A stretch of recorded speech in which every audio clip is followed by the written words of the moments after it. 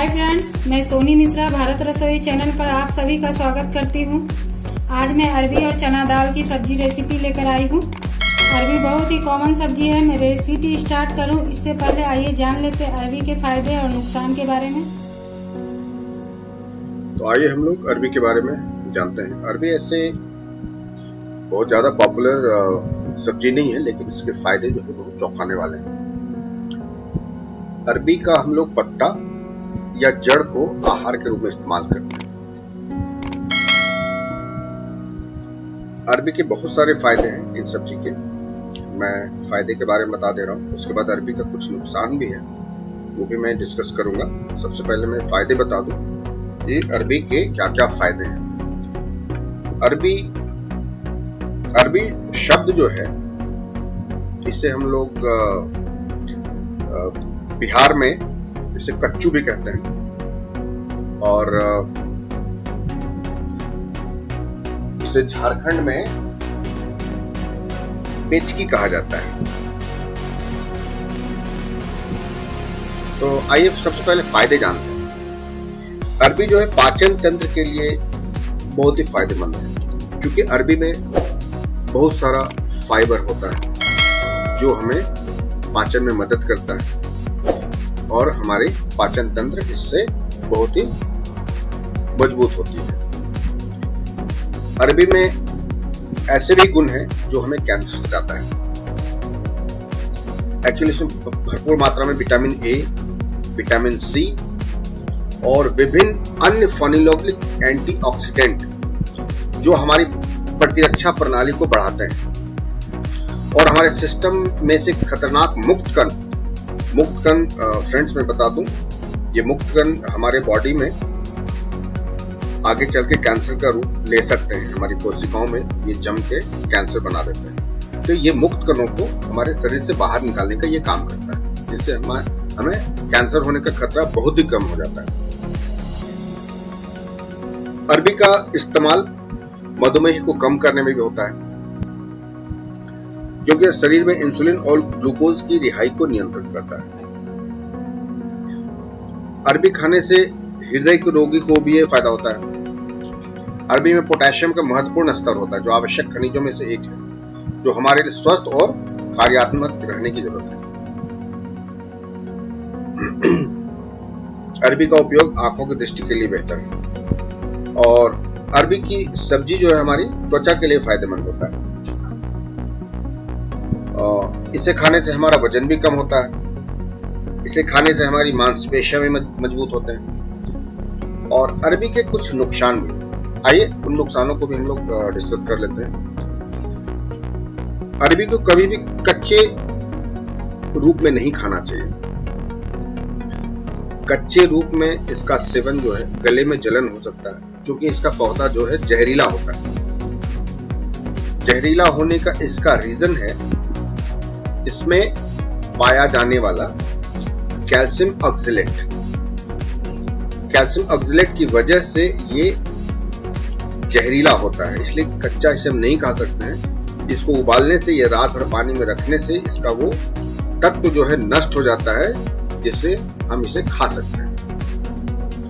अरबी का सेवन वात विकारों से पीड़ित लोगों के लिए नुकसानदायक हो सकता है। ऐसे रोगियों को अरबी का सेवन नहीं करना, जिससे बहुत ज़्यादा गैस है, पेट में गैस बनती है। या फिर वैसे लोगों को भी इसका इस्तेमाल नहीं करना चाहिए, जो एस्थमा से पीड़ित है।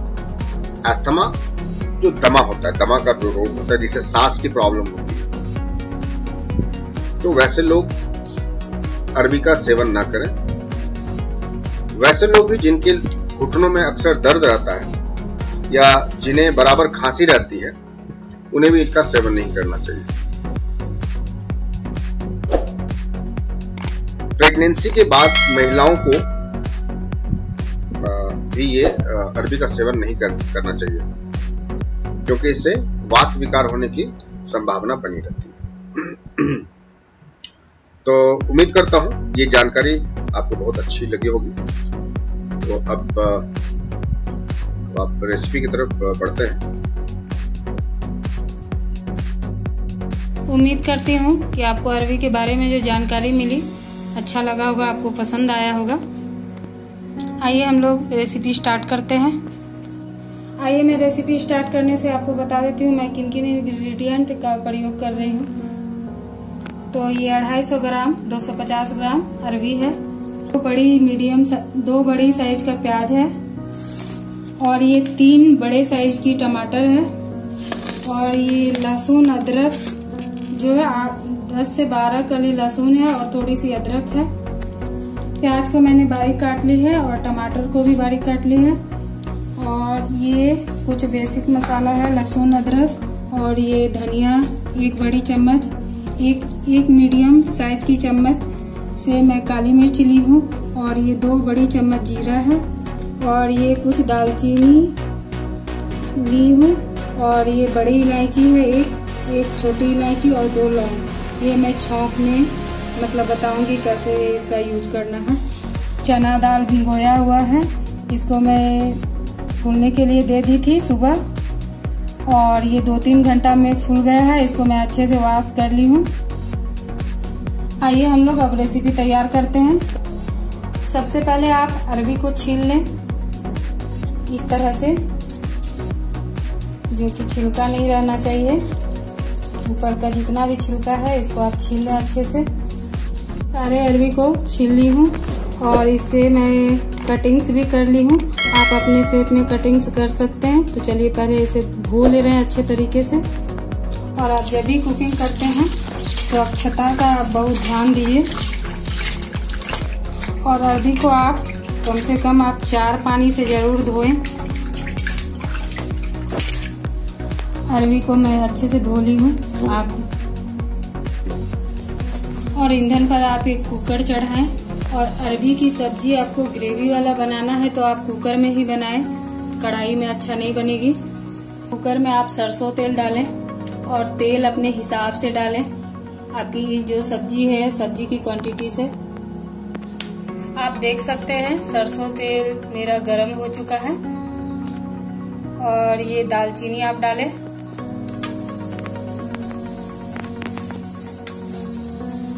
और एक कुटी हुई छोटी इलायची है, इसको भी आप डालें। एक बड़ी इलायची कुटी हुई है, इसको भी डालें।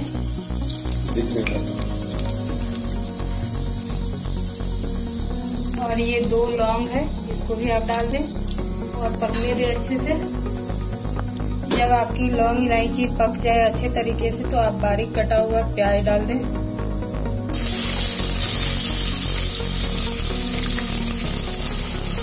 गोल्डन होने तक पकाएँ आप प्याज को और ये धनिया, काली मिर्च और जीरा को आप एक मिक्सी के जार में पेस्ट बना लें। और ये लहसुन, अदरक जो है, इसको भी आप डाल दें मसाले के साथ और इसे आप अच्छे से पेस्ट बना लें। और चलिए मैं पेस्ट बना के तैयार कर रही हूँ।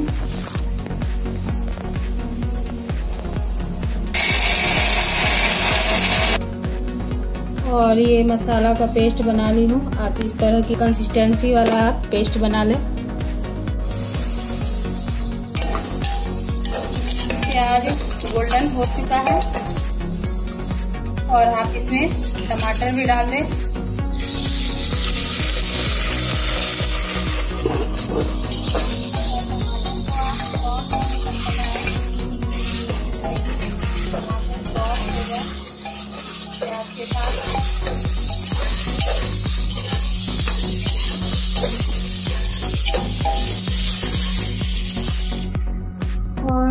मसाले के पेस्ट में मैं एक चम्मच काश्मीरी लाल मिर्च मिला रही हूँ। और ये मिर्च तीखा नहीं होता है। ये ऑप्शनल है। आप डाल भी सकते हैं, नहीं भी डाल सकते हैं। और ये मैं कश्मीरी मिर्च सब्ज़ी में कलर के लिए डाल रही डाल रही हूँ। क्योंकि सब्ज़ी का जो कलर है, बहुत अच्छा है। और टमाटर भी सॉफ्ट हो चुका है।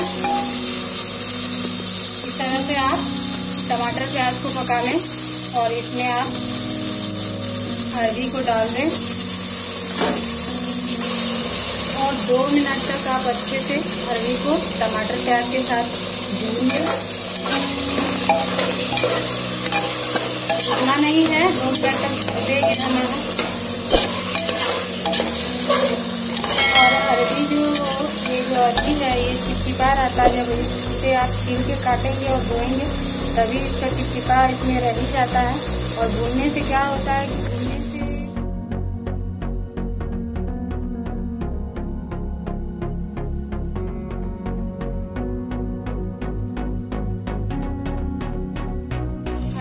चिपचिपापन खत्म हो जाता है। और आप जितना अरबी को भूनिएगा उससे आपकी रेसिपी जो है, अरबी की रेसिपी अच्छी बनेगी। और दो मिनट तक मैं दूध चुकी हूँ। और इसमें आप एक चम्मच हल्दी डाल दें।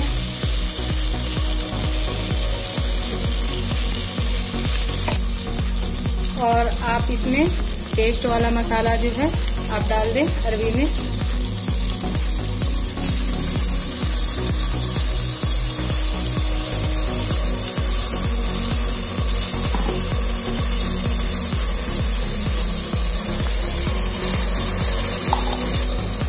आप इसे अच्छी तरीके से मिक्स कर दें मसाले को अरबी में। और जब आपके मसाले अच्छे से भुना जाए, जैसे जैसे कि आपके मसाले से तेल छूटने लगे मसाले और अरबी से, तब आप इसमें चना दाल डालें। पहले तब तक इसे भूने, जब आपके मसाला से तेल भी छोड़ने लगे। देखिए, मसाला मसाला भी जो है अच्छे तरीके से भुना गया है अरबी के साथ। और आप चना दाल डाल दें। ये धोया हुआ चना दाल है, आप धो के पानी सुखा लें, चना दाल का और डाल दें।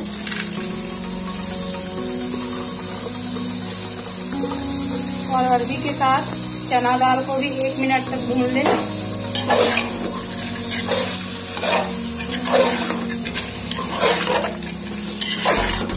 और अपने स्वाद अनुसार सब्ज़ी में नमक मिला लें।